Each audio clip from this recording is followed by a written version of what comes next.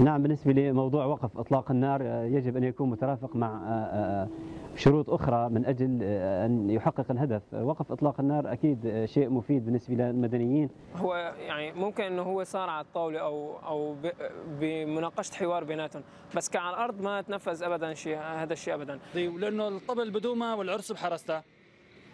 يعني اللي عم يتفاوضوا برا ما بيمونوا على اثنين حاملين بارودة جوا. لا عنا ولا عند النظام يعني. روسيا بتمون على الميليشيات الإيرانية ولا العراقية لا. ولا بشار بمون عليهم.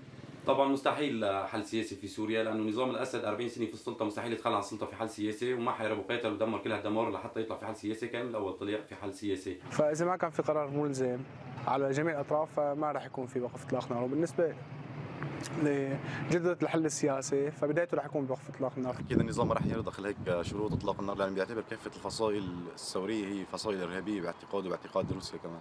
لن يؤثر إلا في قتل الشعب السوري لأنه ليس إلا ضحك على اللحى. بحل الحل السياسي الوحيد بسوريا هو برحيل الاسد برحيل الأسد واعوانه. وقف إطلاق النار ما له تأثير نهائيا ولا وحبر على الوراء لأنه نظام جائر وبده يبيد كل شعبه. بالنسبة لأرض الواقع قصف الراجمات الصواريخ المدفعيات الطيران الروسي الطيران السوري 24 ساعة يقصف مناطق محررة ومدنيين وجيش حر. جميع المعارك والحروب انتهت بالمعاهدات جميعا انتهت على الطاولة يعني بالنسبة للحل السياسي الله أعلم ما بتوقع يكون في حل سياسي آه على المدى المنظور